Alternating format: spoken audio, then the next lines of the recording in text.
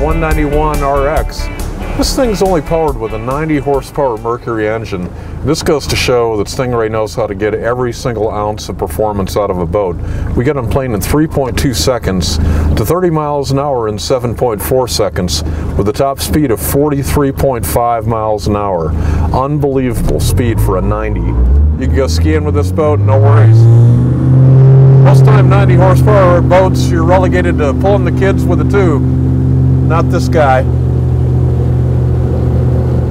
As usual, these things handle beautifully. Hang on, Duncan.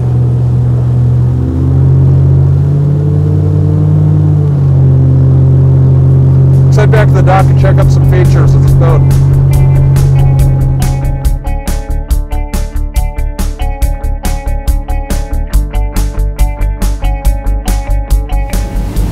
Now, Mark Stingray, to me, has always delivered a, tremendous value for the money. And this time, you guys have just gone crazy. What what do we got on this package here?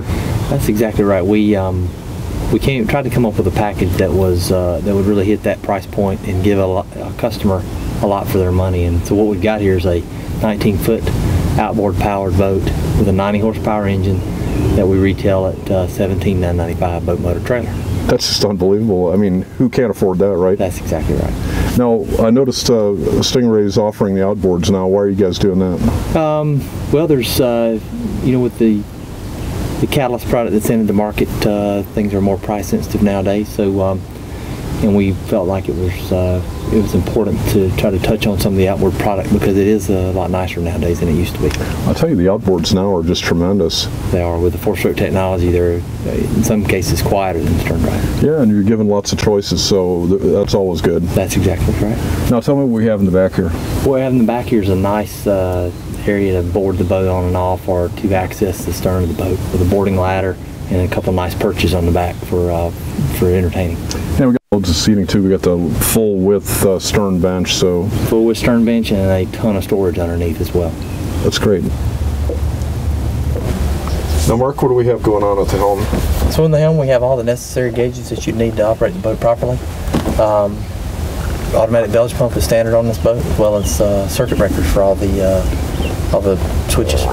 Still have some stylish touches too. I like this uh, stitched uh, eyebrow here. That's right. It's the same eyebrow we use on our L series boats. That's cool. Let's go up front and see what we have going on. Okay.